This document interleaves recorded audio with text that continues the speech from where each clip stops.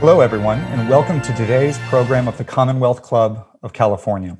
I'm Brian Fishman, Director of Counterterrorism and Dangerous Organizations at Facebook, and I'm pleased to be your moderator for this program with former U.S. National Security Advisor H.R. McMaster. This program is part of the club's Good Lit series, underwritten by the, underwritten by the Bernard Osher Foundation. We thank our audience for your support of the Commonwealth Club. If you wish to make a donation, please text the word donate to 415 329 4231. We also want to remind you to submit questions for General McMaster via the chat room next to your screen, and I'll get to as many as possible later in the program. And now it's my pleasure to introduce Lieutenant General H.R. McMaster, former National Security Advisor under President Trump, Senior Fellow at Stanford University's Hoover Institution, and author of the new book, Battlegrounds The Fight to Defend the Free World. General McMaster is one of the most celebrated modern military leaders in America. He spent 34 years in the U.S. Army, including as a captain during the Gulf War and fighting the insurgency during the war in Iraq. He then served for 13 months in the Trump White House. In his new book, Battlegrounds, General McMaster argues that American foreign policy has been misconceived, inconsistent, and poorly implemented since the end of the Cold War. He describes efforts to reassess and fundamentally shift policies while he was National Security Advisor, and he provides a pathway forward designed to improve strategic competence and complex competitions against our adversaries. Welcome, General McMaster. Hey, Brian, great to see you again. Thanks for your service to our country over so many years, and and it's great to reconnect with you here in Silicon Valley. Yeah, it's it's a real pleasure. Um, so your your book makes if I could characterize it, two basic claims. I think the, the first one, as, as you know, you've been getting a lot of questions about this, is in that preface that you didn't want this to, book to be political, you didn't want it to be a tell-all. And then the bulk of the, the book is, is focused on how you envision American strategy with reference to your time as national security advisor and your, and your time in, in Iraq and Afghanistan. And I think there you're making the argument that our strategy has been unclear, we need to have more clarity in goals and we need to have a forceful american presence in the world is is that sort of is that a fair characterization i think so brian and, and you were with me in places like iraq and afghanistan and and what really frustrated me in many of these missions in, in our, the wars of the 21st century for the united states is the disconnect the disconnect between reality on the ground in those places mm-hmm. and plans that and and policies and strategies that i think were based more on on fantasy in, in Washington. Mm-hmm. And I, I tell the story in the book about my conversation with our friend Joel Rayburn at one point mm-hmm. when we mm-hmm. were frustrated by this disconnect in Iraq in particular. And, and he mm-hmm. made the quip of, well, you know, we're in Iraq, but it seems like our strategy is based on MyRaq. And MyRaq mm-hmm. is whatever people in Washington really would like it to be. And so, mm-hmm. so I, I describe this in, in the book as as as a phenomenon uh, uh, uh, that I that I call strategic narcissism, the tendency to mm-hmm. define the world only in relation to us uh, and, and, how we would like it to be, and therefore to neglect the agency, the influence, the authorship over the future that others, including our our rivals, our adversaries, and our enemies, have uh, over the over the future course of events. You, you famously, before you wrote Battlegrounds, wrote Dereliction of Duty, uh, a sort of an assessment of civil military relations and goal setting in and around Vietnam. Do you think that we have made the same kind of mistakes in Iraq and Afghanistan? I mean, and and I guess if we have, why why haven't we gotten better at this? Yeah. You know, we've we've studied Vietnam and those failures ad nauseum.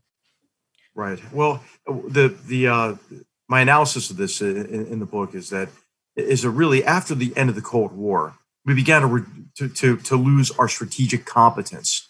And remember, the, of course, the Cold War uh, was followed rapidly. The the the, the uh, lifting of travel restrictions between East Germany and West Germany precipitated the really the the end of East Germany, the, the, the continued stress on the Soviet Union, its ultimate collapse, and of course that was a reason for optimism, right? As you recall, President George H. W. Bush said that he hoped now that that, that the rule of law would, would govern intercourse between nations um, rather than the rule of the of the jungle. Of course, that was followed quite rapidly by a hot war uh, in in in uh, in, uh, in the Persian Gulf, mm-hmm. and and a lopsided victory over the fourth largest army in the world, Saddam Hussein's Saddam Hussein's army. And I think that bolstered our confidence even further. And through the 1990s, we based our foreign policy on three fundamental assumptions that turned out to be over optimistic. And that first of these is that there's an arc of history that guaranteed the primacy of our free and open societies over closed authoritarian systems. A corollary to that, especially in connection with the, the, the collapse of the Soviet Union and China had not experienced this, you know, this orders of magnitude uh, growth uh, in, in, its economy and the mm-hmm. strengthening of its armed forces. And so we we we thought thought you know uh, great power competition is a relic of the past. Instead, mm-hmm. That competition will be replaced by you know, global governance and a condominium of, of, of, of nations who would work together on the world's greatest problems. And the third, uh, the third assumption was that the technological military prowess that we demonstrated in the Gulf War meant that mm-hmm. that if any country, if any adversary even had the temerity to challenge the United States, a future mm-hmm. conflict would be fast, cheap, efficient, and and relatively low cost. And and and these assumptions, I think, Brian, were a setup. They were a setup for for uh, the strategic shock of the mass murder attacks of 9/11 when Al Qaeda avoided our tremendous military advantages and and adopted an asymmetric approach to to, to mass murder uh, mm-hmm. using box cutters and airplanes.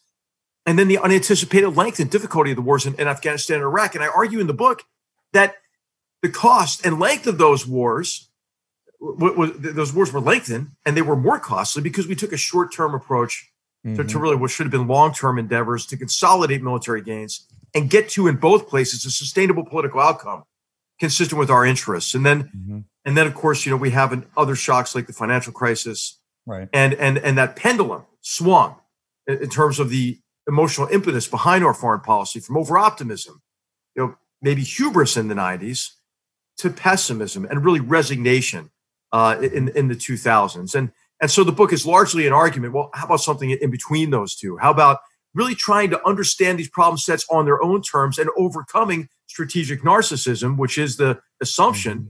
that either what we do or what we decide not to do is decisive to the outcome, uh, and, and implies strategic empathy to view these complex challenges we and other uh, other free nations face today from the perspective of the other and to come and to try to understand these these these uh, challenges on their own terms. Mm-hmm. How does that? I mean, how does that apply in these conflicts?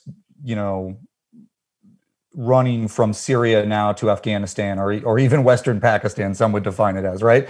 Is you the what should our goal be, right? And and and I think one of the things that that there was a hallmark of your your tenure in, as national security advisor was the 2017 national security strategy and sort of trying to lay out ends ways means in that sense. But i think one of the things that that still frustrates me and frustrates other analysts that are that look at these problems is is not knowing exactly what we're trying to accomplish in these places. And and and i don't know how we we fix that problem. I mean, it, it requires real political leadership. Um, you know, which is the which is you know we'll come back to this, but is is there a tension there in your book between not wanting to talk about politics when politicians are setting those goals? Not not really at all. And as you, yeah. as you know, have seen the book. I mean, I'm very yeah. critical of multiple administrations, including the yeah. Trump administration. And on your question of goals, I mean, it's really important to have a goal. It's really important to have objectives because otherwise, you're like Alice in Wonderland any path will get you there. yeah. So, so I, I think it, it is a disservice to our nation. It's a disservice certainly to the servicemen and women mm-hmm. who are fighting in these wars if they don't understand really not only what are the goals and objectives, but what is the strategy that aims to achieve those goals and objectives at an mm-hmm. acceptable mm-hmm. cost and risk. And so, I, in the in the conclusion of the of the book, uh, Battlegrounds, I, I I I harken back to the book I wrote on Vietnam and and I, I, discussed the lessons I brought with me into that job. It was kind of a surreal feeling, you know, walking into McGeorge Bundy's office, really right. in the West Wing, and having criticized national security decision making and and policy making during the Vietnam War. To, to, to, sort of, of course, have it dawn on me. Well, now I'm in charge of that process, and right. and so what we did, Brian, I described this in the, in the book, is we put in, in place a, a different step, right? A different step in formulating policy and strategy typically, as you know, in Washington, you know, I mean, at least oftentimes, these policy and strategies are generated bottom up, kind of from the bureaucracy, right? From these mm-hmm. working groups that are convened yep. around what's called the Policy Coordinating Committee. and and it's sort of like the equivalent of oh you know Afghanistan Pakistan discuss right and then, and then you have this bottom up process during which all types of satisficing behavior and lowest common denominator uh, compromises happen mm-hmm. and you get what what I would call policy pablum and so mm-hmm. what we tried to do instead is to focus a, a framing session a framing session on a five page hard hitting paper that described the challenge that we're facing on its own terms, to view that challenge through the lens of our vital interests and to mm-hmm. establish an, an overarching goal and more specific objectives.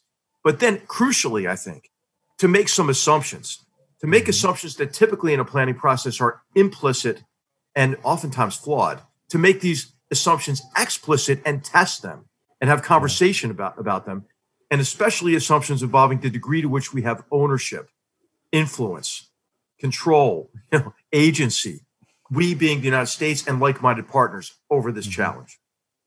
And then and and uh, and I think that process worked. You know, I think we put into, play, into place some pretty significant shifts in U.S. policies, shifts that were long overdue. Mm-hmm. And um, and, that that framing session allowed then the principals around the table to get some top-down guidance to that policy coordinating committee. Once we had that discussion, I would bring it to the president and say, you know, hey, uh, here's here's how we framed it. Do you agree with these objectives? Put out a cabinet memo and start on it. Now, now none of these strategies were perfect. Uh, all of them, of course, like all strategies, were imperfectly implemented. Yeah. And sadly, you know, as I tell the story of the of the the South Asia strategy, for example, uh, as well as, as strategies that are relevant to the really the humanitarian and political catastrophe in the greater Middle East, um, these were abandoned, I believe, prematurely. I think for uh, in, in, both those cases, we had in place the, for the first time a sustainable long-term approach to this long-term problem set. Mm-hmm. And uh, and of course, uh, now what we have is, I think, a a, a really bias in favor of disengagement as mm-hmm. an unmitigated good uh, fr- from uh, from these complex competitions. Yeah, I, I, mean, I mean, I think this is where the the sort of rubber hits the road on this notion of um, you know going from that strategic hubris to that disillusionment I mean, because i think you're right i mean a lot of americans across the political spectrum are are frustrated about you know the war the war the way the war in iraq and the wars in afghanistan have gone and dragged out you know how do you make the case that, that we should continue these I think there was there were clear goals in mind yeah. when we did put these strategies in place. I, as yeah. I mentioned, they're long overdue, but they came in the 17th year of the war, right? Yeah, right. And um, and you know what, what I often say about about the the war in Afghanistan, it's not a 19 year old 19 year, war. It's a yeah. it's a one year war, you know, 19 times over, right? And. And uh and and so I don't I don't blame the American people for losing confidence in the effort, for you know the so called war weariness and so forth. I, I blame our, our leaders for not explaining to the American people really the two the two the, the, you know the two fundamental things that the American people need to know. First of all, it's what is at stake. What's in it for us? Why do we care? And I think to answer mm-hmm. your question on what the goal is, the goal is to ensure that jihadist terrorist organizations never again have the capability, the, the capacity to commit mass murder, uh, uh, uh, you know, on U.S. soil or against U.S. interests abroad, the way that they did on September 11th killing nearly you know 3,000 innocents and taking trillions of dollars out of our, economy. And the only way to, I think, to do that is to be engaged with those who we are enabling to take the brunt of that fight. So in Afghanistan, for example, that means that requires hardening the Afghan state and its security forces against the regenerative capacity of the Taliban, who, by the way, are, are, are not separate from these other terrorist groups in this mm-hmm. terrorist ecosystem uh, that, that, that, exists uh, between Afghanistan and, and, Pakistan. And so, whereas it, it is it, it, it, requires sacrifice, we've had ten courageous U.S. servicemen killed in action uh, in Afghanistan this year. But it's worth noting that 30 Afghan soldiers and police die every day yeah. fighting to preserve the freedoms that they that we helped them win uh, by kicking the Taliban out, out of power uh, in November, December of, of, of 2000 and, 2001. And so I, I think it's it's important for us to explain that to the American people, but our leaders aren't doing it, Brian. Right? So yeah. so we tend to to look at the lack of popular support for these efforts overseas as immutable.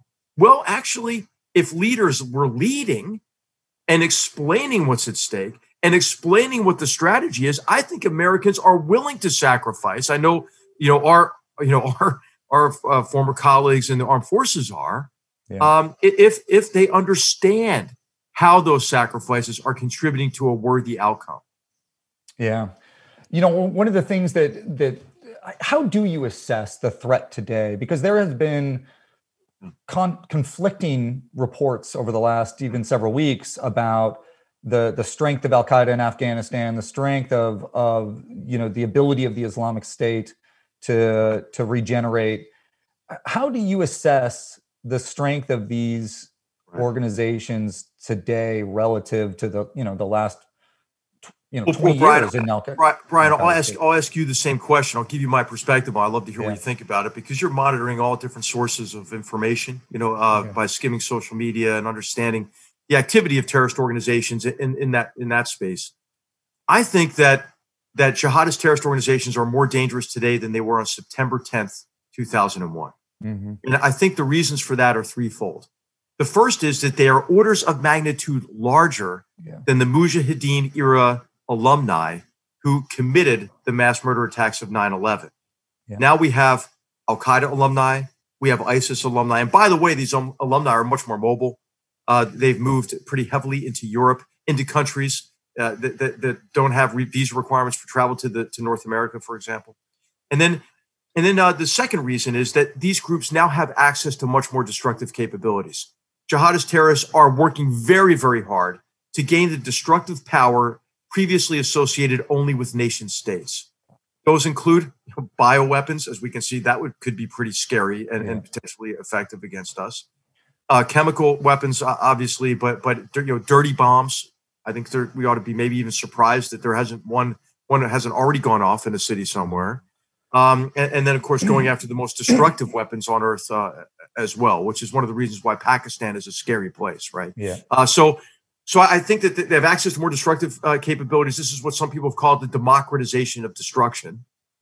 Uh, and and then and then thirdly, you know these uh, the, these groups could gain in strength because we are appear to be so determined, uh, really across the political spectrum, to disengage, right? And and and I think we will undervalue the importance of the work that we're doing every day to develop a better intelligence picture and to, to, to keep the pressure on to, to attack these organizations uh, that uh, that would otherwise do us harm. Now, the, uh, the of course this is this is a, a short term insurance policy.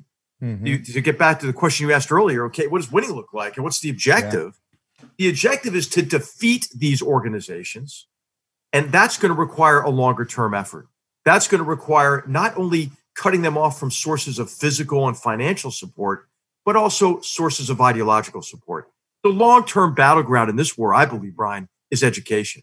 Because when I mm-hmm. look at when I look at these at these uh, these enemies of all humanity, uh, what they do is they use ignorance to foment hatred and hatred to justify violence against innocence. And uh, and so mm-hmm. what, what's re- what's required is to break that cycle of, of violence uh, and help bring people together. And part of these solutions are local, part of them are, is regional. I think these Abraham Accords actually that is a really really important development to recognize. I mean, I love the name of it. Right? We are all people of the book. Those who try to to to to, to cloak uh, their criminal agendas and and and their, their their criminal acts under the the false mantle of religion. I think this is going to make it harder for them. Mm-hmm. I think that uh, Saudi Arabia's at least you know, at least explicit commitment and, and I, hope heartfelt and genuine commitment to combat the Salafist jihadist ideology that lays mm-hmm. the foundation for for recruiting for these terrorist organizations and the brainwashing of of young vulnerable people uh, such that they are dehumanized and then and then weaponized against their fellow human beings. Um, so I, I I think that we have a long term uh, effort that we have to continue to to focus on and improve, but in the short term, our, our military efforts, not with us necessarily directly going against these organizations, but enabling those who really have the most at risk in places like mm-hmm. in Af- Afghanistan uh, and uh, and in Syria and Iraq. I think that's a sound approach in the Sahel, for example, as mm-hmm. part of a mm-hmm. multinational effort in Somalia, as you know, the ongoing operations there. it sounds like a lot, right? It sounds like, wow, do we really want to keep, stick with this? Well, you know, it's hard. It's hard to prove a negative, but I, I but I, I, I am confident. I, in fact, I think I know that we have prevented devastating attacks uh, mm-hmm. ba- based on the the operations and efforts we've conducted since 9-11. Yeah, yeah. I, I think the um, well, I, I, two questions. One is, I mean, I think that where where folks come from is they say, well, look, if we've been engaged in these fights, and and where they're where where the the critique that I hear is people say, well, we've been engaged in these fights, and yet the problem is worse. So is that the right approach? And and this this sort of second one is how do we balance this containment of these of these threats and the effort required there within this larger geopolitical frame i'm pivoting a little bit to this larger geopolitical frame that you speak about with russia and china yeah. and make sure that the investments we're making there don't keep us from acknowledging and understanding and right. and dealing with those larger issues well i would say that the, the problem gets worse when we do disengage so it, it, I, tell the story of, of uh, the Obama administration really anxious to disengage, uh, both from Iraq and Afghanistan, an administration yeah. that, and look, look, I'm a nonpartisan guy. I'm just trying to look at this from a, a, a historical perspective. It was an administration, I think it's fair to say, that that defined its foreign policy mainly based on the president's opposition to the Iraq War, right? And, yeah. and you know, he initially called Afghanistan the good war, but in 2009, after a very lengthy review of the Afghan strategy, painful review because we're all waiting. Okay, what are we going to do in this war? Um, this this strategy comes out that is based on fantasy. I mean, it's it's a, it was an exercise in self delusion, and and this was this this idea that there's a bold line between the Taliban and these other jihadist terrorist groups. That Al Qaeda, to quote President Obama, is a shadow of its former self, and that therefore uh, we can we can begin to disengage. And what's really most important is Al Qaeda in Pakistan and therefore, we will have a very close relationship with the Pakistanis and work on Al Qaeda there. Well, there were so many flaws in that in that argument. First of all, there was no bold line between the Taliban and, and Afghanistan. Al Qaeda wasn't a shadow of its former self. You recall in 2015, we had that large operation Shorabak Farms in Kandahar. Yeah. You know, a massive, the largest ever detected Al Qaeda training facility, guarded, run, administered by the Taliban. and and, uh, and so you know, the, the whole thing was a fantasy. The Pakistanis were not going to change their behavior. The ISI is driven mainly by its fear of India uh, and its use of these terrorist organizations as an arm of its foreign policy since 1948. And so mm-hmm. it was it was an unsound policy. What's striking in the, in the story that I tell in Battlegrounds is the Trump administration has replicated that almost precisely, almost mm-hmm. all of those flaws. And and it was really after that, Brian. It was, it was during that period of disengagement where the problem really became severe. Uh, it was mm-hmm. severe before that, but but but in in, Af- in Afghanistan, because in that 2009 speech, President Obama says, "Okay, we're going to reinforce the effort," but he announces the withdrawal timeline at the same time. So mm-hmm. if war really is a contest of wills and you're the Taliban, what do you do? You know, you just you just wait it out, right? And mm-hmm. and so I would say that that's very similar as well to December 2011. Uh, Vice President Biden calls up President Obama and says, "Thank you for allowing me to end this goddamn war, right? What mm-hmm. happens after that? Prime Minister Maliki, who is no longer really countered by U.S. diplomatic as well as military influence, yep. adopts these sectarian policies. There's a return of large scale sectarian violence. ISIS doesn't come out of nowhere, right? ISIS comes out of the prisoner releases combined with the Sunni community feeling beleaguered and thinking the only way that they can protect themselves is through violence. And so ISIS becomes a patron and a protector. And they're welcomed in by at least portions of the population. That's really what happens.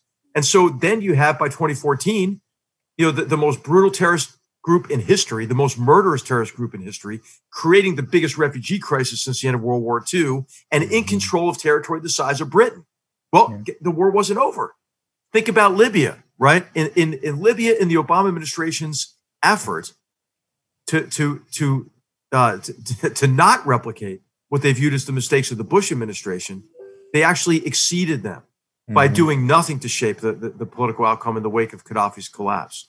Much like the Bush administration, mm-hmm. under evalu- uh, under underappreciated, uh, undervalued the importance of consolidating gains politically in the wake of Saddam Hussein's uh, you know, uh, the collapse of his government, the Ba'athist government. So I could go on about this, but he, what I'm concerned about is we haven't learned the lesson, right? And mm-hmm. in fact, our our, our, attribution of our uh, uh, to the cause that we attribute uh, to our our you know our frustration there is exactly mm-hmm. kind of in many ways the opposite of the true cause, which is the short term meta- mentality uh, applied to a long term problem. Mm-hmm. So how do you? Yeah, I think it's well. Let me divert. I want to come back to this issue of how do we balance the, this effort with this large, uh, with our larger sort of strategy towards, you know, geopolitical adversaries, Russia, China, et cetera. But well, let, let me just let me just qualify this quickly, sure. though, Brian. I just want to say yeah. I'm not arguing for hundreds of thousands of troops, right? Yeah. I mean, when when President Trump said, "Hey, we're getting out of Syria," right? Yeah, he was talking about 300 soldiers, 300 right. soldiers, right? Uh, and and uh, and and of course, the whatever, whether it's eleven thousand five hundred or eight thousand five hundred or five hundred in Afghanistan, all we do is talk about these numbers. It that doesn't matter. That that's minuscule compared to yeah. the deployment of troops. You know, for example, on the Korean Peninsula since you know since 1953, for mm-hmm. example, mm-hmm. and, and so it is a sustainable commitment, I, I, I believe. Yeah, and we tend we we're talking ourselves ourselves out of it. We're talking ourselves into war weariness and mm-hmm. into mm-hmm a precipitous withdrawal that we're going to pay for later. I believe we're going to pay for it later, right? Yeah. I mean, if if the Al Qaeda in Iraq releasees out of prison, formed the backbone, as you know, because you tracked all this of ISIS and you and you've written about it. Uh, how about these these Taliban that we just released in, in Afghanistan? What, what, are they going to do? And, and mm-hmm. so I, I think that that we're going to reap the whirlwind on this one. Yeah. Is it your view that that I mean, you know, I, I, you you're you're clearly concerned about the, the the sort of tendency of the Obama administration and the Trump administration and some level to to pull out of of uh, or, or reduce our commitment in in Syria, Iraq, Afghanistan. There also seems to be a sort of an instinct to withdraw from from Europe, um, a conflict with NATO allies. Um, we we didn't do the the TPP in uh, in, in, Asia. Um, how does this sort of instinct to withdraw manifest within the Trump administration? Because it seems like it's a different. You know, we may get to a similar outcome, but it seems like it's a different instinct than what motivated the Obama administration, or maybe that maybe that's wrong. I, I'm I'm not sure. Well, there, there's a, there's a point at which you know, uh, conservative kind of isolationism meets democratic, you know, liberal retrenchment, right? Mm-hmm. And and uh, I, I, write about this in the in the conclusion of Battlegrounds. What is really the intellectual impetus behind uh, the, this this uh, the, this movement to disengage, or the argument for disengagement? And uh, and I think it's a combination on, on the you know on the left, maybe you could say of of really kind of the the dominance of the new left interpretation of history in which, and I'm for, I'm oversimplifying here, and I don't mean to offend anybody, but yeah, I mean I, it's essentially that all the ills of the world prior to 1945 are due to colonialism. All of the ills of the world after 1945 are due to communist or capitalist imperialism, and, and, and mm-hmm. therefore uh, we are the problem. And if we disengage from these complex areas, the situation will get better, right? Mm-hmm. Now, now that is almost the same argument, right? Uh, on on the on the right uh, as well, you know, and this would be you know this would be the, you know, the so-called realist school right? Who mm-hmm. who argue that that the U.S. Uh, efforts overseas have been in pursuit of liberal hegemony, right? This is a straw man that they set up, and this realist school is actually an ideological school mm-hmm. uh, because they see our disengagement from every problem as, as, an unmitigated good. Because again, we are the problem, and uh, and and so I, it's not a partisan problem. I think it cuts across both political parties, and this is why you have you know you have uh, you you have uh, unusual bedfellows strange mm-hmm. bedfellows of, of, of George Soros and, and, and Charles Koch, right? Mm-hmm. Funding uh, some of these kind of uh, pseudo think tanks that are popping up that are making this this argument for disengagement as, as an unmitigated good. Mm-hmm. In, in your experience, I mean, you you helped lay out these strategies, and you and yet it, you know, you you reflect in the book that President Trump didn't always follow through on these, um, on some of the, the, the this guidance what's motivating President Trump in these in these engagements, you know, in Europe with potential allies on the in the Pacific Rim and South Asia? Um, around some of these larger, you know, geopolitical adversaries that you identify Russia and China? Yeah, well, you know, there, there's the conventional wisdom, you know, because the president's language is often offensive to allies, right, and, and creates yeah. strains in alliances at the at the public level. The conventional wisdom is that there's you know there's very little coordination or international effort ongoing to mm-hmm. confront either Russian uh, aggression in the form of cyber-enabled information operations, really the, a sustained campaign of political subversion against Europe and the United States, and against his own opposition figures, uh, yeah. you know, as well, well as we see as the poisoning of of Navalny.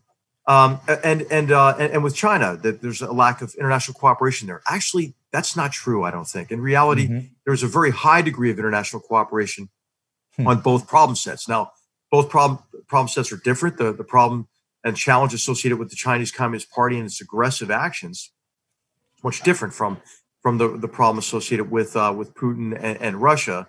Uh, you know, Ch- China has has real power, economic power, military power, uh, that, that can that can rival the United States and and and help them pursue this goal. I think of of establishing exclusionary areas of primacy across the Indo-Pacific, and then mm-hmm. and then challenging the U.S. globally, both from an economic as well as from a security uh, standpoint. Whereas Russia just doesn't have those those resources available, and and therefore rather than than you know than, than collapsing the existing order and replacing it with a new one more favorable to Chinese interests. On the case of the the, the, the Chinese Communist Party, Russia's just trying to drag everybody else down, right? So mm-hmm. if they mm-hmm. can't be stronger themselves, they're going to drag everybody else down. So essentially, Vladimir Putin is, is the figure, you know, the, the last man standing, right, in, mm-hmm. in Europe. And, and there is a high degree of, of international cooperation, I think, ongoing now, especially especially after the recent sort of aggressive actions by China. So if I can just go to let me just go to China. I know I know probably yeah. a lot of so a lot of people's minds, but I think there are three elements of what, what I describe in the book is I try to describe what are the emotions, the aspirations, and the ideology that drive and constrain Chinese Communist Party leaders. This is an effort to really get a strategic empathy as uh, you know as a cure you know for strategic narcissism, right? And mm-hmm. and uh, and and and what I, I think today, at least, just to to bring it up to what you see in the news and what people are talking about today, there are three misunderstandings uh, about the nature of the competition with China. The first of these is that, you know, this is really just a US China problem, you know, because, you know, mm-hmm. Trump administration is so mean, right? Mm-hmm. That Xi Jinping has to, you know, has to respond. Well, I mean, actually, I, I don't see that as the case at all. I think mm-hmm. the onus on, on, in terms of the, and the blame for the deterioration, uh, you know, in the relationship is, is on the Chinese Communist Party and has mm-hmm. everything to do with the shift in, in first Hu Jintao's uh, leadership, but then especially Xi Jinping. And, and it's based really on the, on the party's desire right? This desire to to extend and tighten its exclusive grip on power internally and to export its export export its uh, you know its its uh, statist uh, authoritarian mercantilist model you know ex externally. And how can it be a U.S. you know China problem if you know if, if it is China that you know the if you know the, the repression of the news of human to human transmission for COVID nineteen the the subversion of the World Health Organization the wolf warrior diplomacy aimed you know at Europe and the United States to added insult yep. to injury. you know the, the the cyber espionage campaign against our medical research facilities and hospitals in the middle of a pandemic. You know the massive cyber attacks, which I'm sure you're tracking on in, in Australia, but but really globally. You know the the bludgeoning to death of of, uh, of Indian soldiers on the Himalayan frontier. Uh, the, you know, the acceleration of the you know the greatest land grab, so to speak, in history in the South China Sea, the threats to Taiwan. Mm-hmm. Okay, I could go on, right? Mm-hmm. cultural genocide campaign in Xinjiang.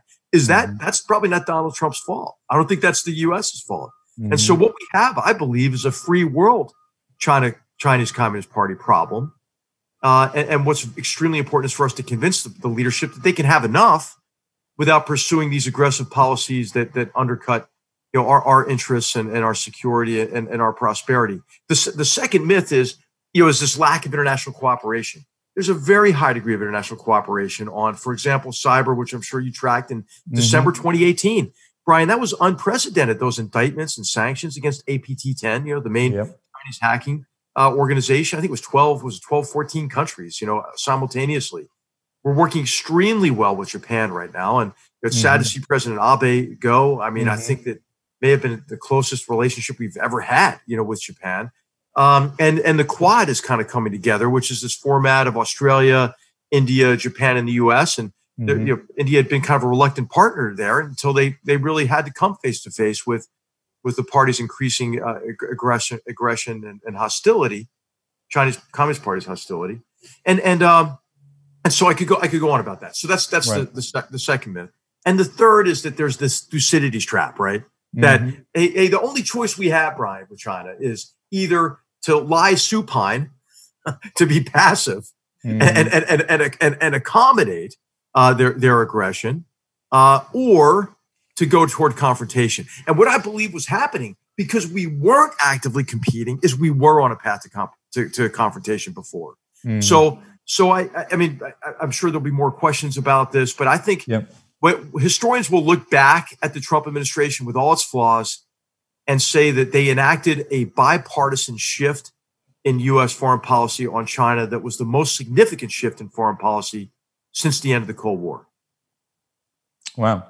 So I, am I'm, I'm looking at some of our our audience questions now, and I'm going to try to you've you've you've addressed some of them, but um, let's ask this question about about you know dealing with cyber terrorism, dealing with cyber threats. Do you think that we have a solid whole of government, whole of society approach to these kinds of threats, which manifest in a variety of different ways? I mean that that that phrase is almost too large and flexible. Everything from you know terrorists operating on the internet to um, to to true cyber disruptive activities by by nation states.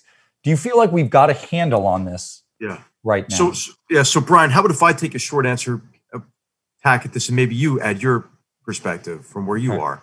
I think the way that the question is crafted is, is immensely important because it isn't just a government approach. It's a, it has to be, it does have to be a whole society approach. And I think what we've seen with various cyber threats from jihadist terrorist organizations, for example, who are becoming more capable to the most high-end capable powers, which are China and Russia, uh, is that is that each of them pose slightly different threats. I think with China, the principal threat seems to be cyber-enabled industrial espionage.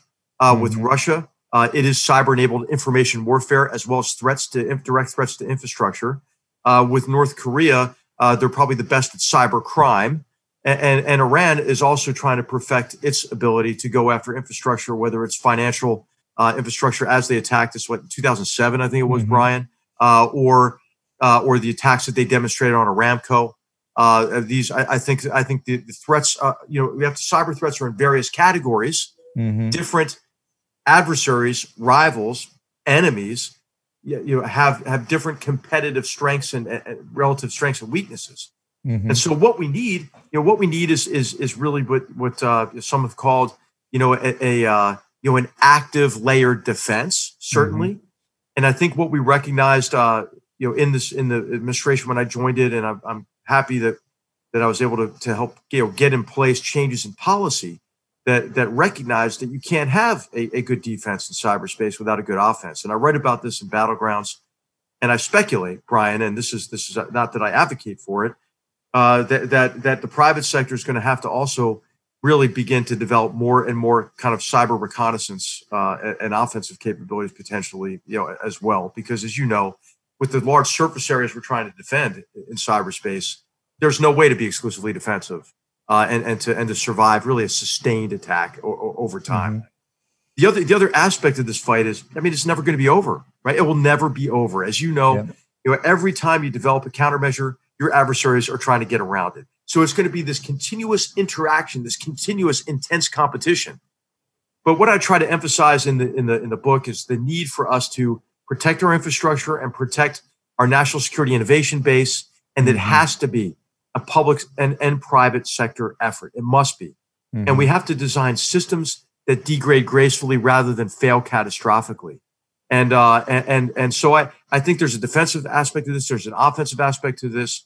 But what's I think concerning me on the horizon, Brian, is that it is possible to deter not just through counteractions in cyberspace, but the broad range of other actions that are available, from law enforcement to right. I mean military efforts potentially, uh, a state-based adversary, because you can hold something of value to that state at risk, right? Now, these non-state actors I mean, they might think yeah, I've got nothing to lose, right? And and and so the, so it's very difficult to deter. I think cyber actors uh, who are part of of transnational organizations, you know, non-state yeah. cyber uh, actors. So, Brian, uh, what, what's your assessment of, of where we are on, on cyber and and the threats and, and what we're doing to counter them? Well, I think it depends on how you think about the the threat. I mean, based on my sort of historical experience, I, I, you know, when I was teaching at West Point 15 years ago, we were uh, tracking uh, the way that terrorist organizations were using the internet, and that was before the rise of social media and and and the sort of the way that that conversation happens today. Um, and so that's one that's one sort of aspect of it, and and I do think that oftentimes we um, we bias towards the recent and think that everything is new when in fact many of these dynamics are older and reflect you know um, historical trends i'm thinking of thomas thomas Rid's book active measures about yeah, some of these kinds of dynamics yeah, yeah. Um, one of the questions that has been asked here is are you concerned that that Russia, China, I mean, we, you've been very clear about the efforts of the Russians in the 2016 election to impact that election. Are you concerned that these sort of state actors will have a a real impact on our election eh, that's you know ongoing right now? I mean, we are in prime election season. Right. You know, you know, Brian, we we we stood up, uh, as you know, new organizations.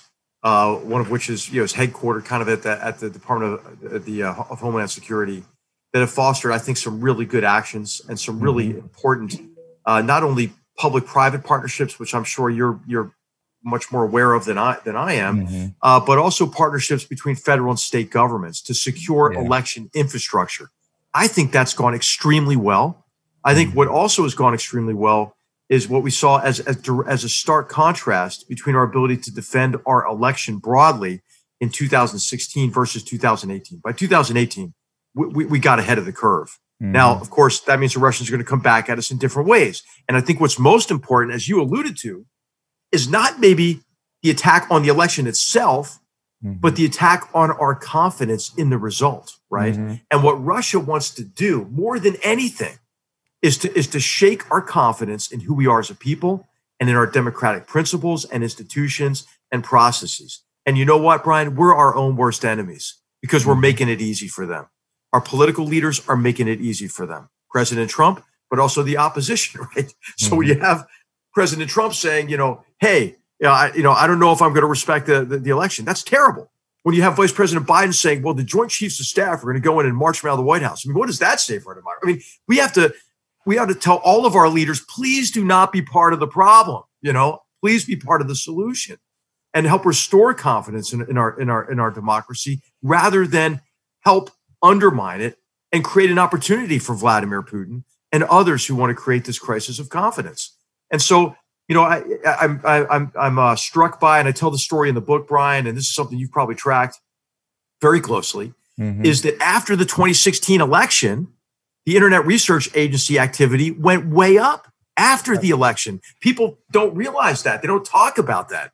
And and and the, the Kremlin had a whole you know, they had a whole information campaign ready to go. Was, I think they were as as surprised as Donald Trump was, frankly, when he won the election. Right? the, the, so the disinformation campaign, as you know, they actually released it before the before the end of the election that hey, Hillary Clinton stole the election from Donald Trump. That was their narrative. Well, they had to reel that back in really quick and twist it to oh, hey, Donald Trump would have won the popular vote if it wasn't for you know a rigged election.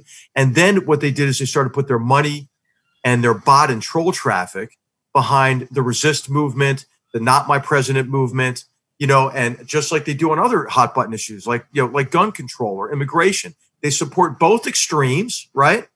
And, and try to pull us apart from each other. And thanks to social media, you know, uh, present company, you know, accepted. Right. is, that, is that, you know, social media is part of the problem, man, a big part of the problem, mm-hmm. especially the algorithms that present material to entice you to click more and more and to get more advertising money. And the way to do that is to show you more and more extreme content that reinforces your existing beliefs mm-hmm. rather than provides you with any kind of one set of facts, right? Mm-hmm. Uh, that, that, we can all begin a civil discussion on.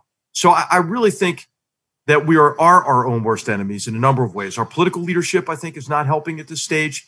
And I think social media is, is a big part of the problem. Is this what's the biggest, you know, this comes from an audience question as well. What is the biggest threat to US democracy now? Is it our lack of confidence in our electoral systems? Is it pressure from the Russians? Is it the the geopolitical rise of the of China? Is it you know the continued threat of, of terrorism? I would say it's education, Brian. You know, I, I in in the conclusion of the of battlegrounds, I you know I, I quote my friend Zach Shore, uh, the, mm-hmm. the historian from you know from whom I, I borrowed the term strategic empathy. He's a professor at Berkeley. He's a yeah. guy's a brilliant historian, you know, and just an all around great person. Uh, but but you know the, the greatest strength of a nation is an educated populace. And if yeah. you think about really those who are most vitriolic right, in today's discourse are those who know the least about problem sets. This is why the Commonwealth Club. This is why mm. you know mm. the Commonwealth Club's part of the solution. You know these sort of organizations that that help us educate each other, that bring us together for civil discussions. Mm-hmm. You know where, where we can explore issues in depth, where we're tolerant of other people's views. I mean, I think the, these venues are more important now than than ever. And I think what we really have to take a hard look at, Brian, I mean, is is is uh, civics education and yeah. history, how we teach history. It should be possible. It should be possible to have faith and pride.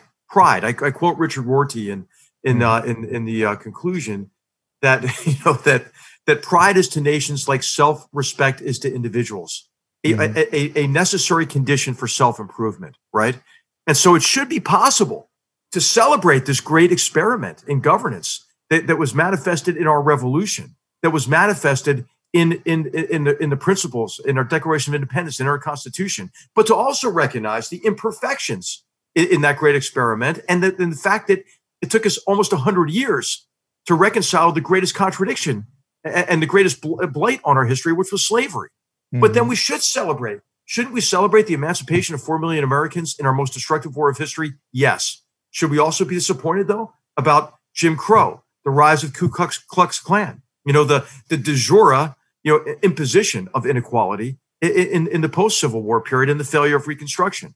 Should we also be disappointed? Yes, we should about separate but equal. But can we also then celebrate the civil rights movement and mm-hmm. the dismantlement of de jure segregation and, and, inequality of opportunity?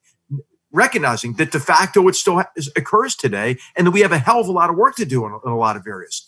I think it is possible to do both, right? But now, now I think that there is this, you know, th- this mentality associated with an interaction of, you know, identity politics and bigotry and racism and and all of this happening in a toxic you know, information environment that mm-hmm. is pulling us apart from each other. I mean, if you believe one thing, you know, you, you watch one cable news station. If right. you believe another thing, you watch a different cable news station. And so I, I just think all of us have a role, whether it's in academia, whether it's in civil society, whether it's in the Commonwealth Club, whether it's at Facebook.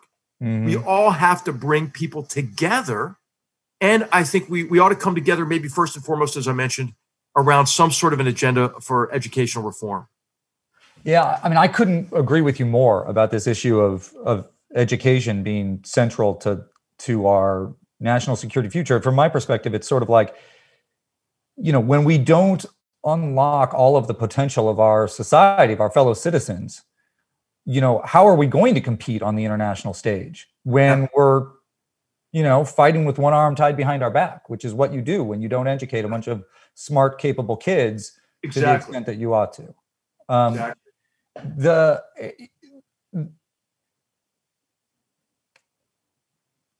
how do we get there though? right because there is right now there is a like a visceral per, you know we always think everybody always says it's the most important election of our lifetimes right like that happens every 4 years but we're in the midst of this incredibly visceral electoral process and you're appealing back to the better angels of our nature back to our institutions back to those yeah. you know back to good faith implementation of you know checks and balances um, and how do we get there when when we've got adversaries pushing on this and we've got you know domestic leaders that that may feel an incentive not to buy into yeah. those those institutions yeah you, you, know, you, know, you, know, you know brian i've got a theory about this maybe i'm wrong i'd love to hear what the commonwealth club membership thinks about this right yeah. you know i think i think I think we're better off than we think we are. Okay. Because I believe that our elites and our media and and the and the environment of social media is more polarized than most actual Americans, right? Mm-hmm. And and I also believe, therefore, that we have to be the solution, right? I mean, you know, I I mean, I, I I'm all for at this stage, you know, not paying attention to the politicians except to demand better of them, and we should demand better of them. There are some good organizations, as you know. There's that that one organization that recruits uh, that recruits veterans to run for office, mm-hmm. uh, but then also makes them pledge to be to be bipartisan and to you know and to introduce you know bipartisan legislation in their first term as congressman or woman.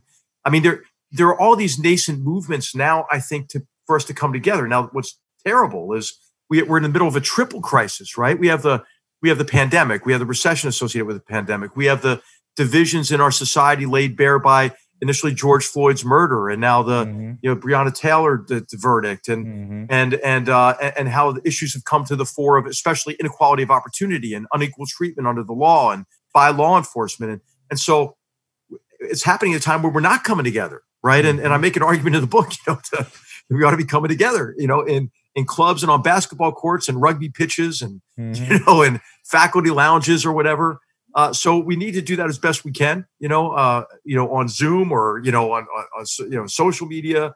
But I think we need to have these conversations ourselves. We need to take ownership of it.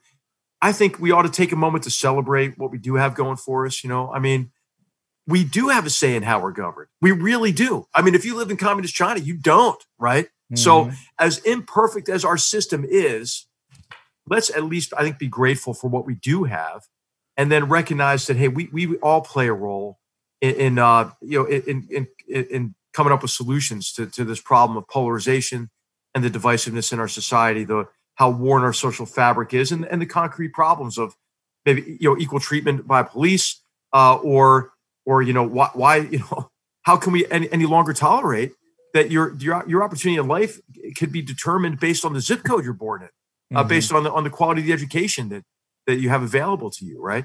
Mm-hmm. So anyway, I, I think we can do it. You know, I'm, I, you know, as you know, I mean, uh, my whole career has been not just to passively accept this, you know, the current conditions, but to try to act on problems and mm-hmm. and, and and to to shift our, our, our you know our you know, our situation to to to an improved situation or a better place. You know, so I think we can do it.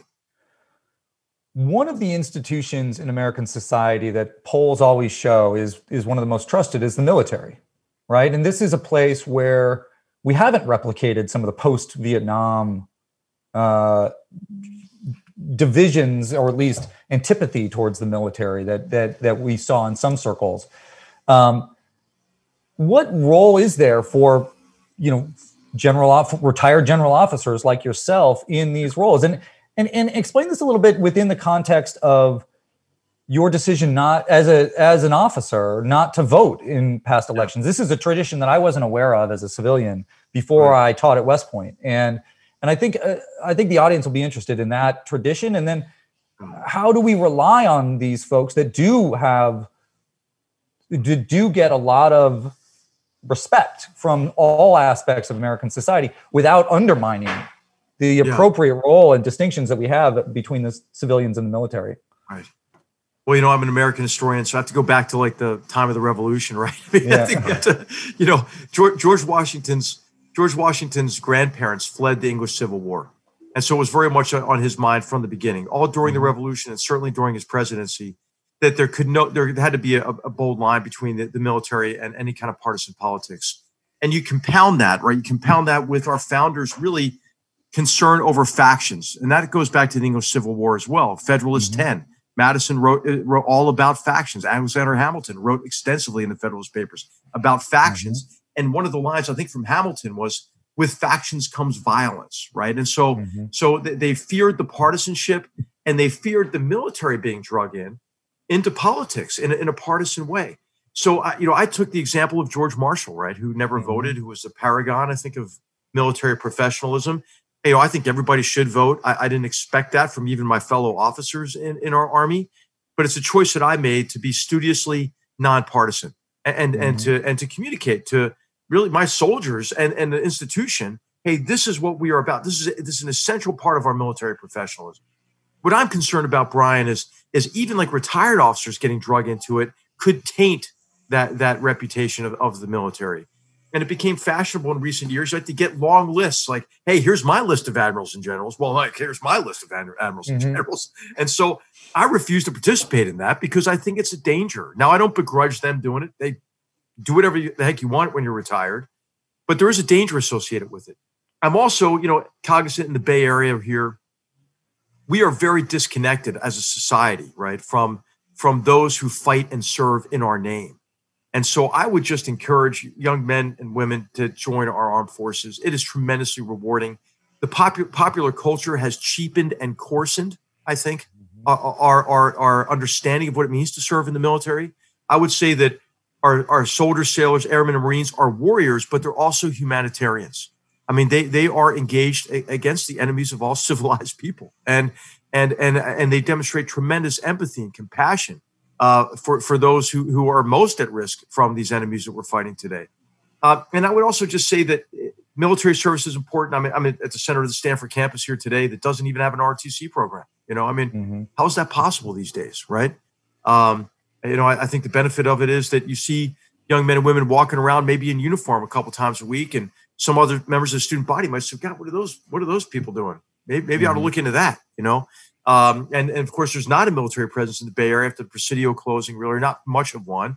Right. And so I think we have to fight to to keep us connected to the military, and then maybe maybe talk to our young people about not just service in our military, but some form of service mm-hmm. that brings us together across all walks of life. And what I love about our military is you see people come into the army, right? Then they bring mm-hmm. with them they bring with them all the prejudices, you know, uh, you know, all the all the predispositions that that they, that they come from however they grew up, right? And then you just watch that you watch it melt away, right? Because you see that the man or woman next to you is willing to give everything, including their own lives for you. You know, and when you're in a, when you're in a, an organization like that that takes on the quality of a family, nobody's checking skin color. You know what I mean? Mm-hmm. No, nobody's you know checking somebody's religion.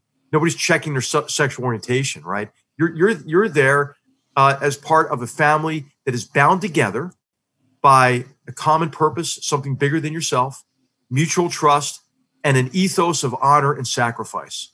Mm-hmm. And and I think it's a great thing for our army. Fewer and fewer young Americans can do it in our smaller professional force. Mm-hmm. But I would just ask members of the Commonwealth Club, please talk to young people about the rewards of service, because popular culture, I think, oftentimes also looks at veterans as as traumatized, fragile human beings. I mean, I I don't know if you saw the speech Vice President Biden um, made recently, you know, about a you know soldier that is veteran that engaged in criminal activity. And I'm just like, oh, I mean, that's that's such a small minority. I mean, mm-hmm. most soldiers emerge. We never want to you know stigmatize combat trauma and all of its all of the uh, you know the negative uh, effects of it. Mm-hmm. But I think I think Americans have a misunderstanding of, of, what it means to be a veteran, who our veterans are, and uh, it's un, it's unfortunate. Yeah, what General McChrystal has suggested a sort of year of national service. Um, yeah. You know, a compulsory potentially year of national service. Um, is that an idea that? What, what, do you think about that idea? Yeah, I think it's it's a great idea, and actually, you know, I think making it voluntary first is a way to do it. What I found yeah. here at Stanford, and I'm sure others members of the club have, there's a huge untapped desire to serve among our younger generation. You know, I mean, I guess when you get old, it, it, it must be tradition, right, to disparage the younger generation. Hey, I'll tell you, I, I've, yeah. I've met the most extra- I've, met, I've, met, I've met the most extraordinary young people, not, not yeah. in our army, obviously, but mm-hmm. here at Stanford as well. They all want to make a difference. They all want to serve.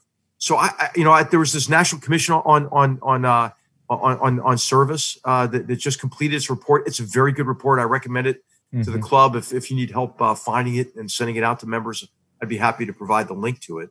Uh, but but I think these you know this ought to this ought to be reflected in legislation. It also mm-hmm. ought to be reflected, I think, in on college campuses and high schools and and, and really you know counselors should be talking to, to students mm-hmm. about hey if you want to serve you know here's how you can do it here's how you can make a difference in your community for your mm-hmm. country mm-hmm. internationally you know so so um I think I think you're right. I mean, this is a way to bring us together, as well as you know the initiatives in education. Yeah, I, I mean, the re- one of the reasons why I ask this question is is is I'm, I'm trying to get at this notion that that you've suggested that education is really the heart of the fight in a lot of ways for our for our country, and and we've we've you know, and we have there is and yet we don't fund it right? We don't we don't invest in these things the yeah. way that we should. We do invest in the military and you know uh, you could have endless debates as people do in washington about what the right funding levels are there and you know but but i you know there's sort of this this paradox that i'm wrestling with with with which is that we should have this focus and this respect and the centrality of the of the military because they do so much good work. And yet i worry that we get to a point where they're the only folks that we we put on that pedestal when there are these other ways to serve. And you're pointing to that in some ways. And i, I don't know how we we square that circle but it seems to me that that is important to square if we're going to address these larger institutional challenges. Yeah. Well we have a new respect for nurses and doctors these days don't we? I mean yeah for sure. I think you know how about how about essential workers right? Who as we yeah. many of us you know can work from the comfort of our offices right? They don't they don't, they don't yeah. enjoy that luxury and uh, and they're more susceptible to con- contracting a deadly virus. You know, for example. So I, I, do think this is an important point that we have to respect all forms of service. Two, one of my daughters worked in the government, and two of my daughters uh, were did teach for America. You know, and yeah. and um, and they, they all found it these experiences to be tremendously rewarding. They did make a difference. Yeah. Uh, and and um, and so I, you know, I I think holding teachers up on a pedestal, you can't go wrong with that. My mother taught in inner city Philadelphia for 35 years. She made a huge difference you know, mm-hmm. every day there. So, you know, I, I think there are, tr- there, as you're, you're, right, tremendous opportunities to serve and a largely untapped desire to serve among our young people. So that's sounds like an opportunity to me. Yeah. You are now retired formally. Are you going to vote this time? I'm having the discussion with my daughters, and what a hell of a you know hell of an election to start voting in, right? I mean, right. So, so uh, you know, I think I will, Brian. I got, I've got to, I got to think it through. It's a big shift for me, right? This is my right. third. This is really my third career. My first one was at a, at a famous restaurant uh, named McDonald's, uh, right. where I was proudly, you know, employee of the month, three years, three, three months in a row, three months in a row, and then, uh, and then I went to West Point at age seventeen. So you've always been a star student, sir. so I'm, I'm uh, you know, I, I'm, I'm thinking about it. I, I think it's going to be. I'm going to consider it a civic duty to do it. Uh, I, have just stayed so much out of domestic politics now, and man, yeah. I'll tell you, the incentives are pretty low to get involved at this point, right? I mean, in terms of how vitriolic it is and and and how divided we are, you know. Mm-hmm. But uh, but this feels like the tension, right? I, you know, we're we're we're closing at the end of the the session. This feels like the tension to me in the way in the book in in battlegrounds is that you said I don't want to write a political book and you've walked through our grand strategy and yet education is the number one threat. I mean yeah. is there a tension there no, in the way that so. you when, when, i when i say political brian i mean partisan political right? Yeah. And what i lament in the book whether it's on climate change which i write about as you know not extensively but but you know it's a significant part of the book and these interconnected problems of climate and environment and water security and food security and and health security. You know we we we don't begin conversations ever with what we agree on right? It's mm-hmm. always about what we disagree on or what the polar extremes believe, right? So, so on climate, you know, you either get climate deniers or you get Green New Deal. I mean, there has to be something in the middle, right? And so, why don't we talk about, hey, climate change is bad, it's real, it's man made, and we can do a hell of a lot about, about it now? Can we acknowledge that whatever solutions we come up with have to be practical, practical and implementable in developing economies as well, right? Because, you know, as you know, you know, I mean, uh, you know, carbon emissions don't respect national borders, right? So, right. so I, I, think that we can agree on some fundamentals, and there are some tremendously promising uh, tr- technologies, many of which are becoming much more economically feasible. And so, so anyway, I, I think the approach I took in the book is yeah. to not say these are these are issues that have to be resolved through a political process, but let's not immediately go to our partisan corners. Let's start with the history of how these challenges develop, for example. So as you know, every every first chapter in each part of the book begins with how the past produced the present mm-hmm. as the first step in anticipating the future, right? And and so I, I hope the book will be helpful to those who are interested in these challenges and and really as I say in the, in the end of the conclusion, you know, it will have achieved its purpose if it helps bring us together around these crucial challenges so we can have civil discussions uh, and, and, develop a, a, better and more mutual understanding of how we can how we can build a better future for generations to come. I mean, that's yeah. it's, it's it sounds ambitious, but I just want the book to play a small part in that. Yeah. So we've now reached the point in our program where there's there's time for only one last question, and and, and the question I'll ask is. In dereliction of duty, you were writing a history um, of of a, a time, and including national the national security advisor. In people are going to begin writing histories of your time as national security advisor. How do you hope they understand your time there and your work? Well, I, I, hope what they write is that I did my best to try to restore our strategic competence and to put in place shifts in U.S. policy that were in large measure overdue, but fundamentally sound and fundamentally nonpartisan. I think if you go to the December 2017 highly readable national security strategy of the United States, that that and if you do it if you do well a word, yeah. If you do a word search for America First and delete America First, I mean you can put you know you can put whatever label you want on it, right? I mean I, I think it's it is it is a it is a logical argument for what we need to do to protect our vital interests in the area of security, fostering prosperity, and extending influence uh, of our free and open and democratic societies globally. So uh, I hope that's what they'll say, and that I hope that they'll say that I did my best to give the president multiple options to avoid the pitfalls that I wrote about in dereliction of duty, and to put together a process that best served the elected president and best served the nation. And and maybe in, maybe they'll say in so doing I got used up as a result, right? But I was at peace with that, Brian, as you know. I mean, I you know I wasn't there to get another job. You know, I wasn't there to you know as a springboard to something else, or didn't want to try to keep that job to be in you know a so-called influential or powerful position. I just wanted to do my duty, and when I was done, I would be done. You know, and and uh, and I feel as if that our team our team did as best job as we could in the, in that in that year, uh, accomplished some some very positive things. Uh, some some of what, some of those efforts and policies are, are sustained and and, and in a generally positive direction. Others have been prematurely abandoned. Um, but I hope that's what they'll say. Is I gave it my best shot. yeah. Our thanks once again to General H.R. McMaster, former National Security Advisor under President Trump, Senior Fellow at Stanford University's Hoover Institution, and author of the new book, Battlegrounds The Fight to Defend the Free World. This program has been part of the Commonwealth Club's Good Lit series, sponsored by the Bernard Osher Foundation. We also thank our viewing audience. If you'd like to watch more programs or support the Commonwealth Club's efforts in making virtual programming, please visit commonwealthclub.org online. I'm Brian Fishman, and now this meeting of the Commonwealth Club of California is adjourned. Thank you.